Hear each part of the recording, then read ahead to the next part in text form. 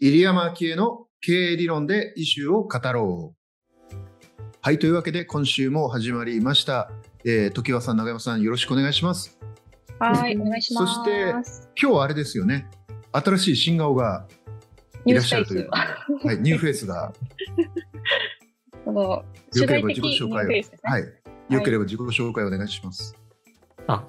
お聞きの皆さん、はじめまして、ビジネスインサイダージャパン編集部の野田と申します。えっと、29歳でミレニアル世代ということで、えっと、こちらにちょっと参加させていただくことになりました。よろしくお願いします。よろしくお願いします。お願いします。パチパよろしくおチパチ。願いします。はい。このなんかこのこのなんていうんですか、にあのミレニアル若者枠みたいになってますよね。ここね。あの初初初代 初初代年齢がなんか。高めなんで。横山幸太郎さん。横山くん、小倉さん、横山さん、小倉さん、そして今回の野田さはい、んと、三代目のミレニアル枠。はい、ミレニアル枠ということで、でもやっぱりいていただくとでかいですよね。僕なんかもうやっぱりそう正直もうに 20, 20歳ぐらいは離れてるので。あうんのやっぱり全然ね、あの僕たちではわからない視点を持ってきてくださるので、ありがたいなと思って。そうですすよね。はい。私も結構話をしてドキッとかびっくりとか ありますので、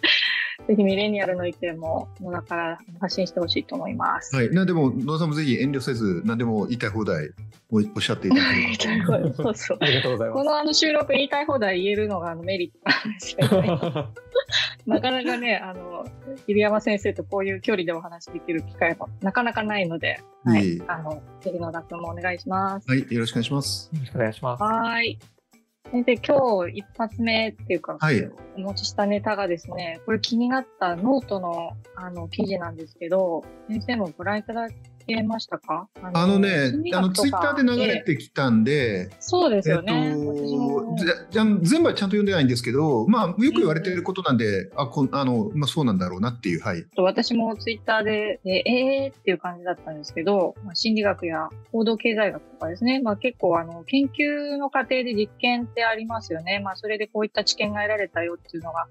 こう、あの、世界的に広まって有名になっているっていうのがいっぱいあると思うんですけど、それなんか結構追試で、あの、失敗している例っていうのが少なくないよという内容のあのノートの記事で、ええーと思ってびっくりしたんですね。先生もね、ご職業柄こういったこととはもうあ無縁ではないというか非常に深く関わりのあもう全く無縁じゃないですね。はい。ねえですよね。マシュマルテストですとか、先生なんかこれ、あのこういうのって研究者の皆さんの間では、割とよく聞く話なんですか？こういった。あよく聞く話です。ものの。あ、そうですか。はい、あのそれで、これ、ままず説明すると、まあ、僕、こういうの専門なんで、えっと、それなりに分かってるつもりなんですけど、えっとまあ、心理学とか行動経済学っていう分野があって、まあ、簡単に言うと人とか組織の行動みたいなものを心理的な側面,、側面からその本質を解き明かしていくっていうものなわけですね。で、はいあの僕は僕の専門はもともと経営学なんですけど経営学っていうのは基本的に人間がやってることで要するに人間の心理的な行動で人って当たり前ですけど行動するから実は心理学の影響ってめちゃめちゃ受けてるんですよね。うん。で特に僕の分野でいくとあの僕はまあどっちかというともう少し大きな経営戦略論みたいな会社の経営みたいな方がもともとの研究の専門ではあったんですけど、まあ、今ご存知のように本とかもいっぱい書いてるので、結果的にこの辺も結構知ってるつもりで特にまあ経営学でいうと我々 OB っていうんですけどオーガニゼーショナルビヘイビアっていう分野があって、はい。まあ、簡単に言うと組織行動論って言い方しますけど、まあ、簡単に言うと例えばちっちゃなチームで行動するときにどういうチームの、まあ、組み方がいいのかとかあと一番分かりやすいのはリーダーシップですね。どういうリーダーが例えば部下のモチベーションを上げるのかとか、うん。まあ、あのあとその逆にそのモチベーションですね人はどうやったらモチベーション働く上でモチベーションとても重要ですからどういう人がモチベーションを持ちやすいのかとかいずれにしてもそういうのって全部心理的な作用なのではい。実はあの心理学の考え方が死ぬほど使われてるんですね。うん。なので、えっと、僕のいる経営学の分野でもトップ学術誌の一つにあるのは Journal of Applied Psychology っていう学術誌なんですよ。へーつまり、はいえっと、応用心理学ってことですね。で僕はそそこの専門じゃないんでそこの学術誌をあんまり読んだりあの投稿することはないんですけど、えっと、はい、そっち側のそのいわゆる OB って呼ばれるリーダーシップとかモチベーションとか、より人の細かいこう考え方みたいなのとビジネスの考え方をつなげたい研究者は実はあのここにここがまあ最高峰の学術誌だしもっと言うと心理学の学術誌のトップジャーナルを狙うんですね。なんで、まあ、有名なサイコロジカル・ブリテンとかその上にあるのがあっていわゆるサイエンスですよね。うん、ネイチャーとサイエンス。特にサイエンスなんていうのは、はい、あれはもともと自然科学系のあのね、超ウルトラトップジャーナルというかですけど、まあ、あれに何本載せるとノーベル賞なわけですけど、えーと、うん、まあ、実はあそこにも最近心理学的な研究が結構載るようになってるっていう、まあ、実はそういう世界なんですね。であともう一個だけ言っとくと心理学は今結構これちょっと余談ですけどもう人間の心理なんで心理って結局何で生まれてるかっていうと脳みそで生まれてるじゃないですか。なんで実はあの世界で見ると心理学と神経科学いわゆる脳科学と日本で言われてるものとあと心理学は実はものすごい今もうあの何ていうんですかねコラボレーションがあります。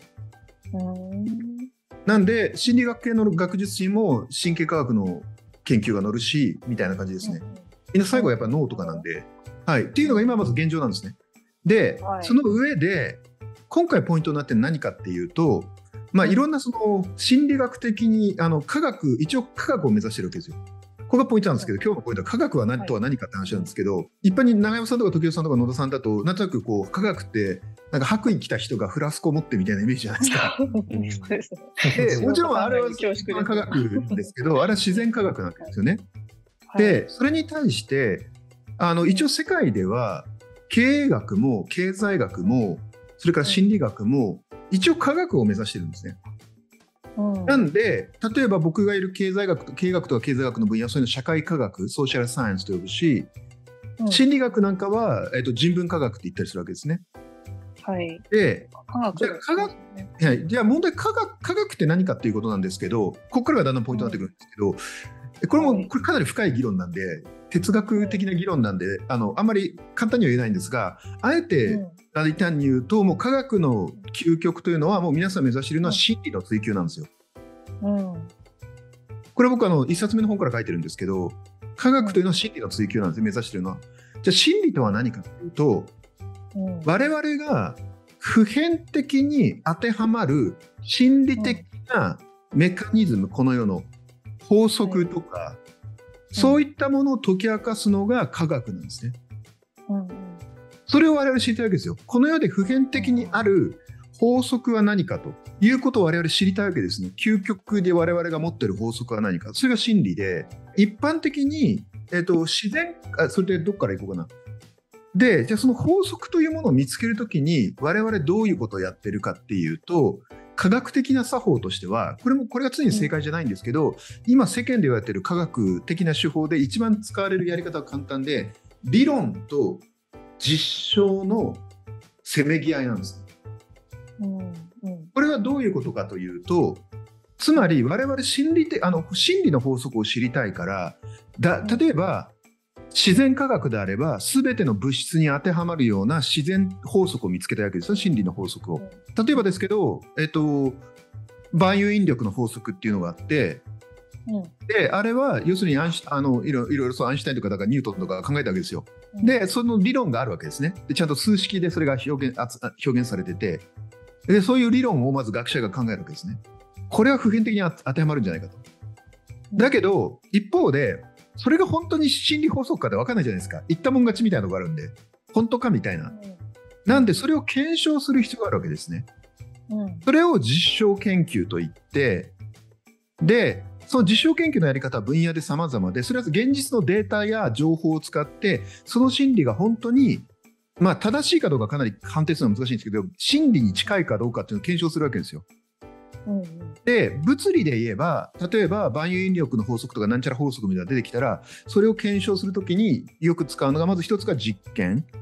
うん、それからもう一つが宇宙物理なんかだと観測ですよね。それで本当にその理論が正しいかを検証していくってことをやるわけです。例えば、アインシュタインが最初に宇宙理論を作った時には、アインシュタインの最初の宇宙理論っていうのは、実は宇宙は膨張してないっていう前提の理論が組まれてるんですよ。ところが、何年かして、ハッブルっていう、あのね、有名な天文学者がハッブル望遠鏡を作って、まあ、ハッブル望遠鏡を作って望遠鏡を作ってでいろいろ観測した結果どうも宇宙は膨張してるんじゃねえかっていうことを見つけたわけですよ。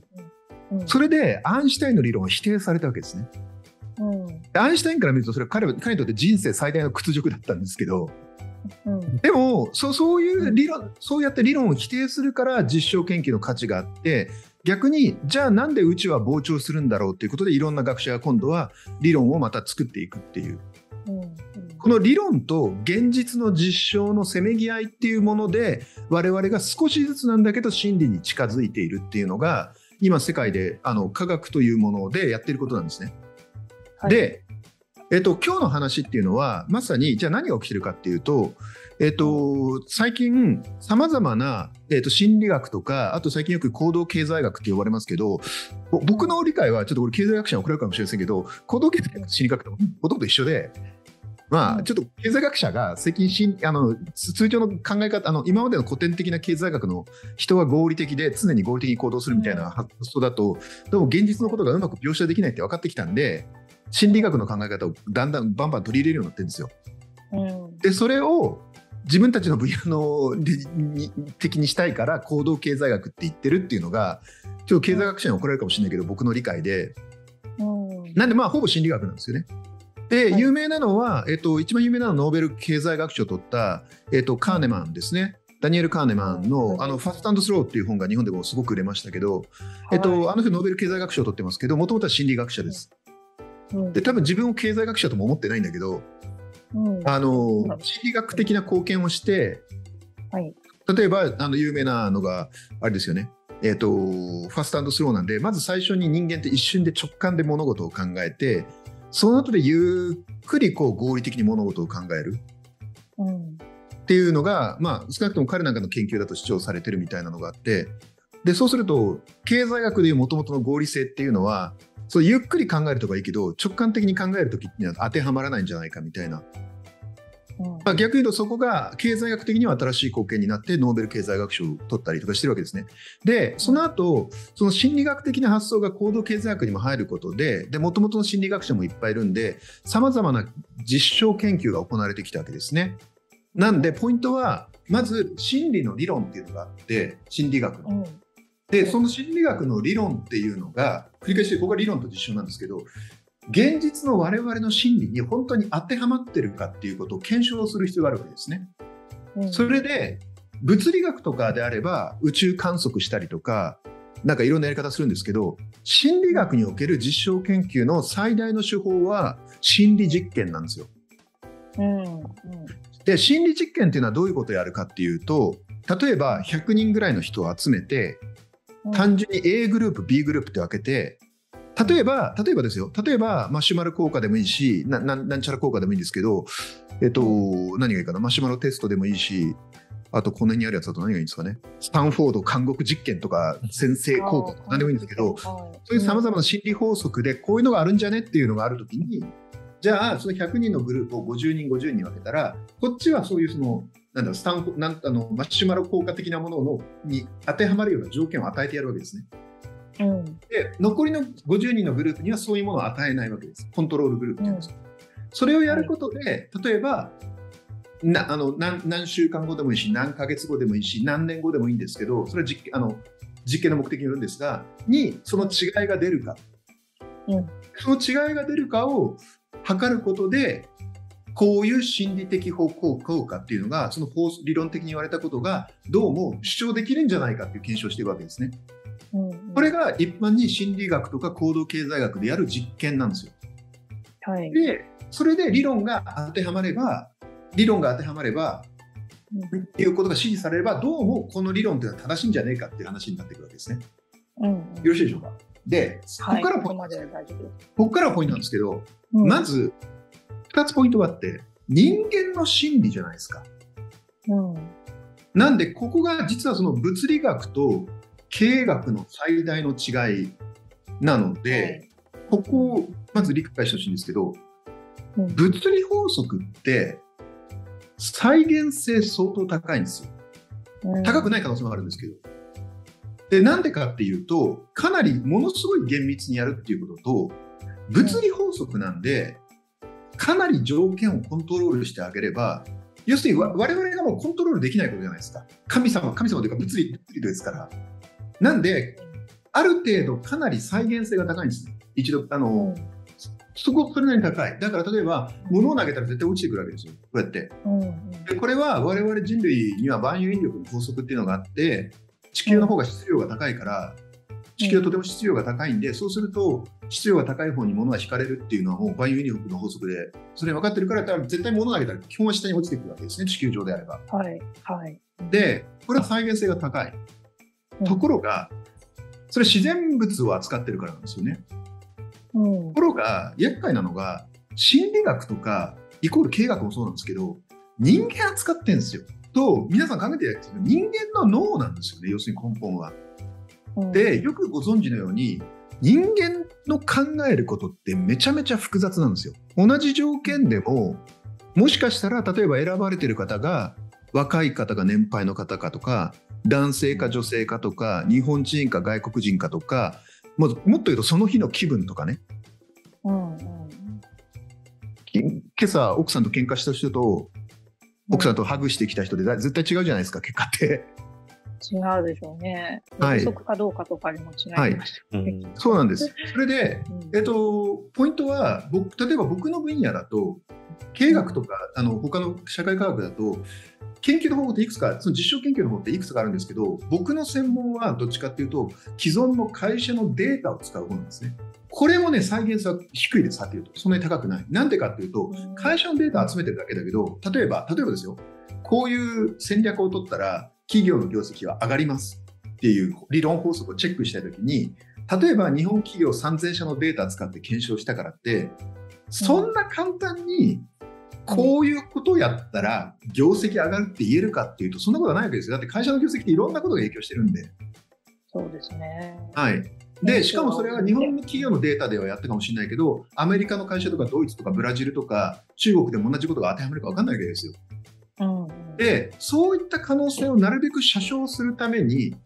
余分なノイズノイズなんですよノイズを取るために心理学とか行動経済学の実験を使ってて実験というのは企業データよりはかなりピュアな状態だからですね。人をある意味部屋に閉じ込めて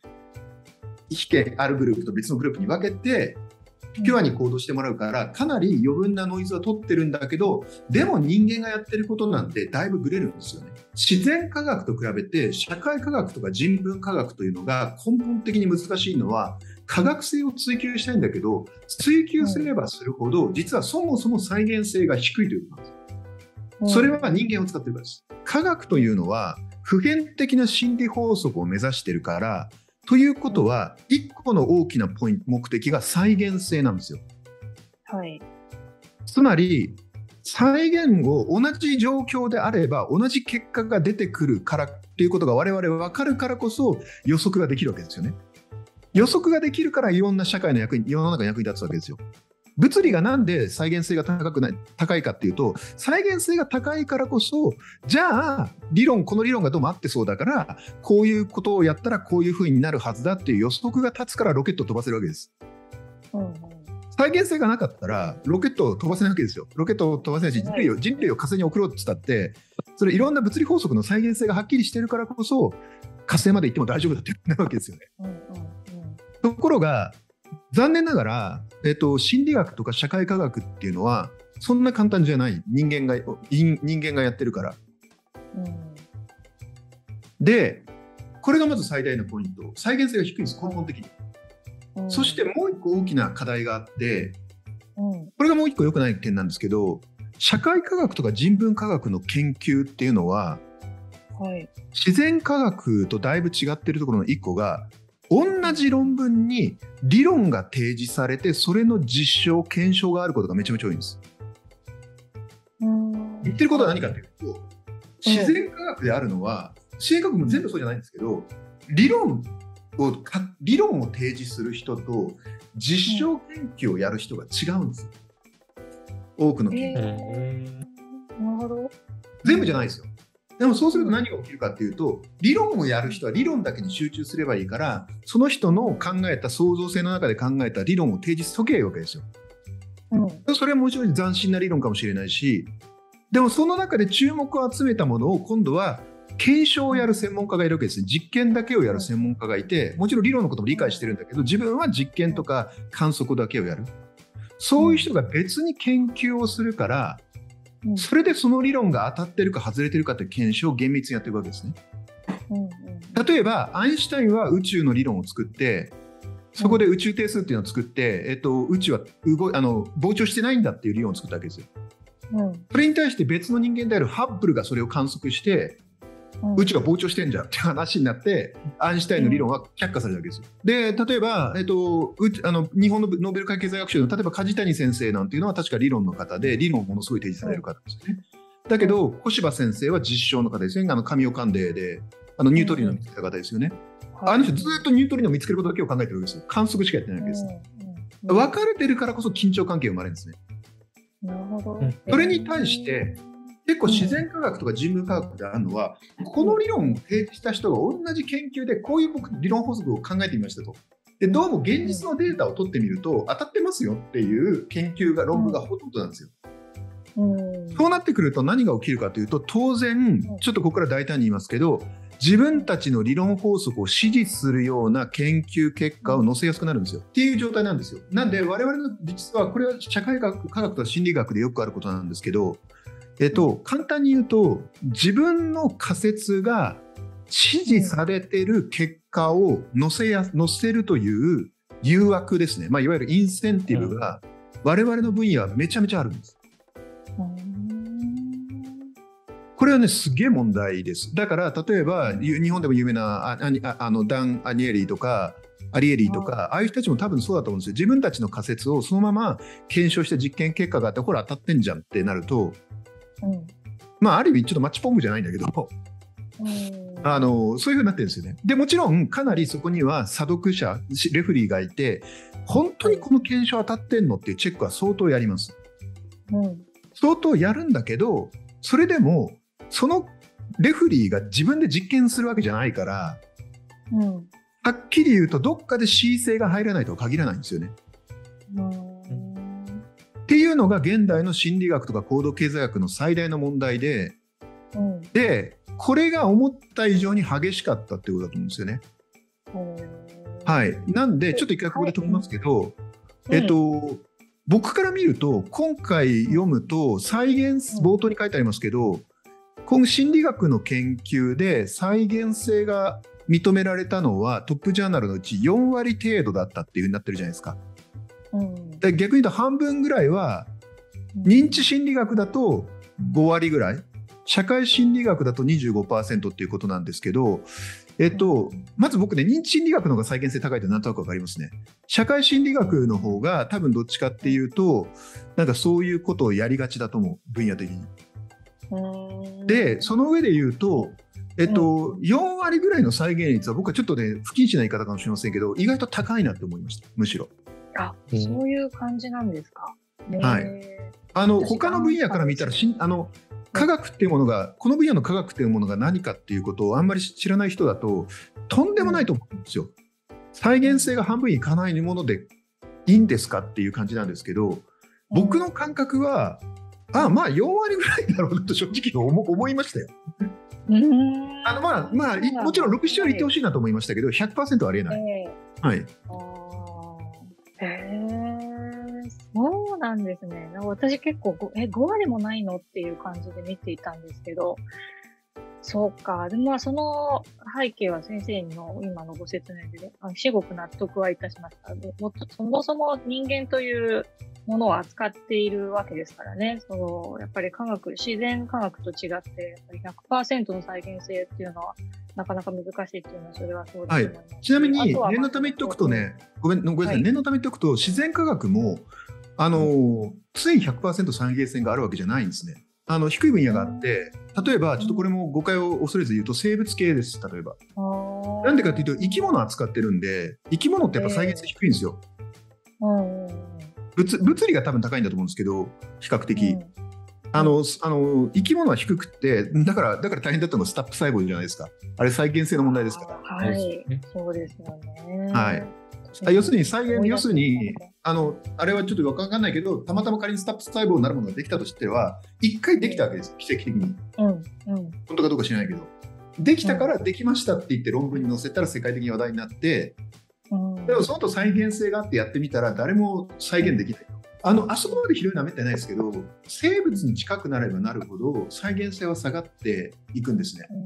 例えば、えっと、細胞とか細菌の研究やってる人に聞くと、実は最近ああの辺はね、そんなに再現率高くない、はずで、なんでかっていうと、意外とその持ってる細菌の質とかで結構ね、結果違うんですよ。だから、あの細菌はその研究用の細菌を培養してるんですよ、皆さん。うん、うん。自分が培養してる細菌だと実験結果がうまくいくんだけど、人のさ培養してる細菌使うと実はうまくいかないってことよくあります。はあ。なんではい、あっちあっちの僕は詳しくないけど細菌研究者の間だとお前の本当に再現できるか分かんないからお前の細菌貸せみたいなそういうことよくやってますあっちの研究者は。へえ。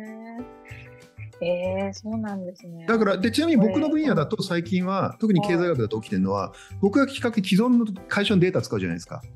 うん、なんでまずあの最近の流れはまずデータを完全に公開しろっていう流れがあります。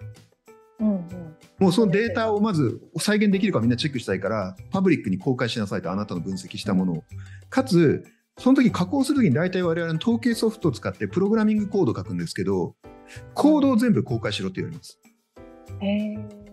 だから逆に言うと、心理実験よりも、もしかしたら最近我々僕の分野の方が再現性はうるさいかもしれないです。もうデータとプログラミングコード全部公開しなきゃいけないんで。心理実験はお前の実験で集めた50人と50人もう一度集めろって言われても集められないじゃないですか。そうですよね。うん、はい。たとえ集めたところでまた条件が変わってますもんね。はい。被験者自体もね。そうですね。はい。え、先生、じゃあ、この、今までこう、お話を伺ってきて、私が一番お聞きしたいのはですね、私たちはどう、こう、こういった、その実証実験の結果が、まあよく出ますけど、これをはいどう私たち一般市市民は受け止め、活用すればいいのかっていうあたりはいお聞きしたいんですけど。あの、それがすごいいいポイントで、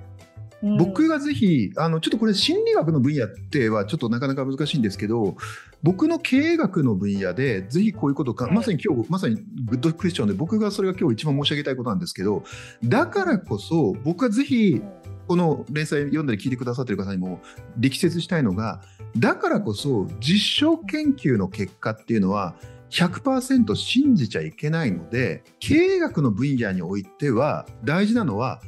理論を理解してほしいということなんです。理論か。うんつまりこれが僕ね。これがね僕世界標準の経営理論を書いた最大の理由の一個なんですよ。うんつまり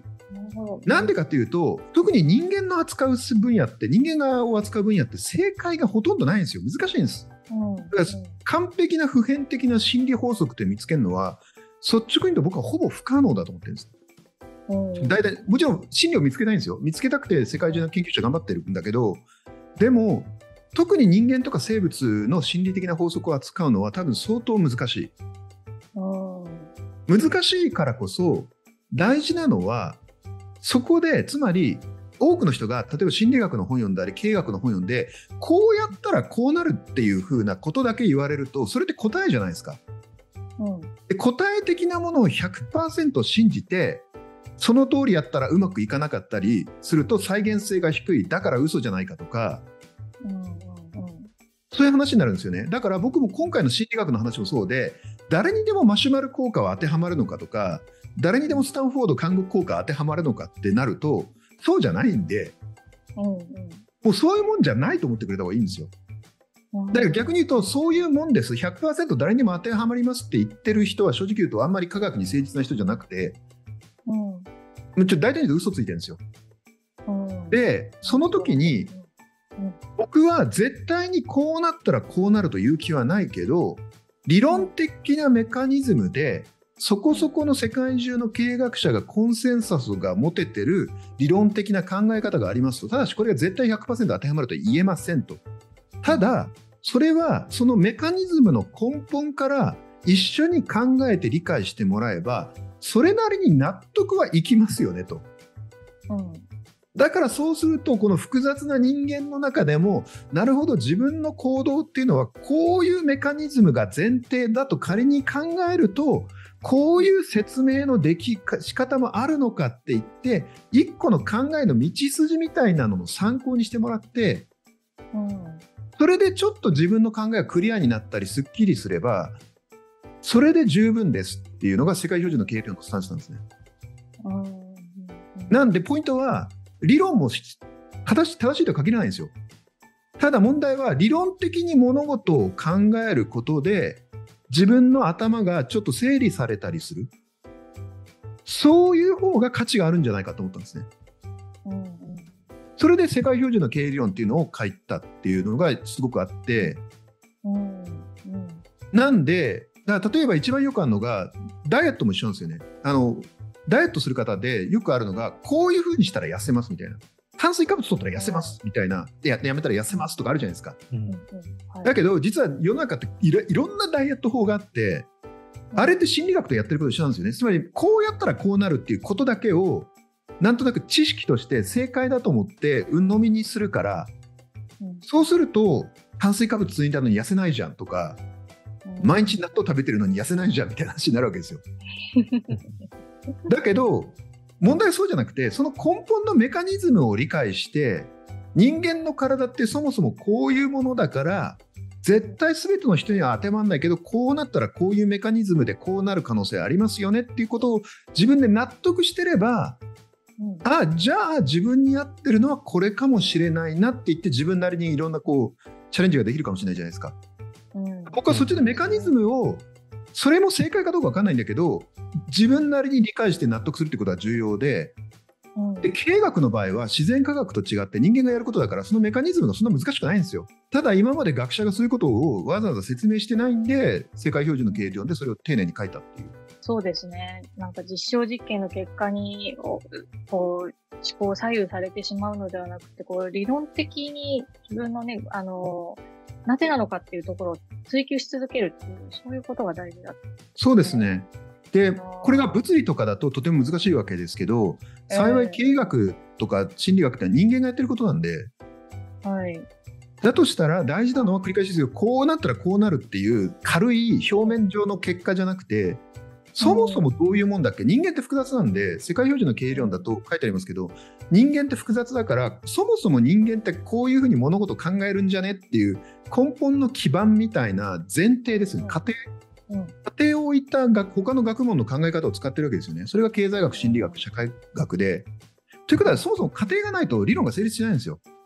うん。逆に言うとそういう過程が成立しない世界では理論成立しないんで、うん。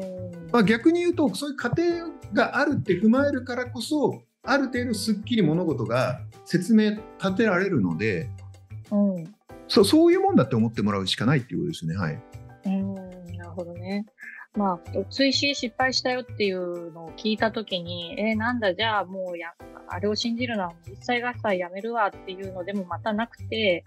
やっぱり自分なりの仮説を持って自分なりに検証し続けるってこの姿勢が大事だっていうことですね。あのととても大事です。なんで僕は世界中の経営理論では最終章で経営理論を信じるなって書いてますから。うん、そうですか。ねえ。先生の今回のお話を伺って、この連載を始めた初回に、あの、先生に伺ったお話を思い出してました。先生はおっしゃってましたね、ということを。なか会が長く続いたので、あのそのあたりを、あの、ちょっと忘れていました。記憶がちょっと飛んでいましたが、改めて今回リマインドになりました。そうですね。人間ってどうしても、はい。であの楽うん。脳が楽したいんで答えだけを求めて、要するに、これはまあ正直メディアもよくないんですけどテレビとか YouTube とかよくあるじゃないですか。もう本当に気楽にこうすればこうなるみたいな。うん、だから、はい。ああれあれを別に悪いとは言わないですけど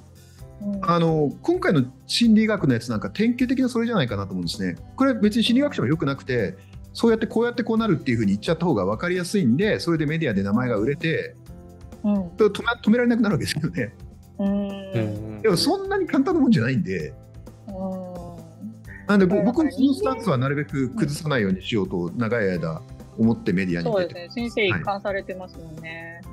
やっぱりこれもでもあれですね、追試失敗っていうのも人間が真理に近づこうとするそのプロセスの過程なのであるっていうことですよね。そうですね。あのただもちろんからだ、あの人は嘘ついてるじゃなくて。はい、ただあの当然当当然ながら失敗して再現性が低いことを認めてる僕も是としてるわけではなくてもっともっと再現性を上げるべきだと思うし実際先ほど言ってるように特にこの分野だと理論を書いた人が同じ研究で同じ自分で実証をやってしまうというマッチポンプ的なやり方がうん僕のいる経営学の分野もそうなんですけどはびこっているのでこういうのは解消した方がいいと思っていて僕は1冊目の方でそれ書いてるんですけど、はいうんあのそう思ってますでで最近ちょっと経営学とか経済学とかその見直しがあるんでそういうのに期待したいなと思います。はい、そうですね、そうですね。はい。いろいろ勉強になりました。ありがとうございます。ありがとうございますあ。りがとうございます。ます。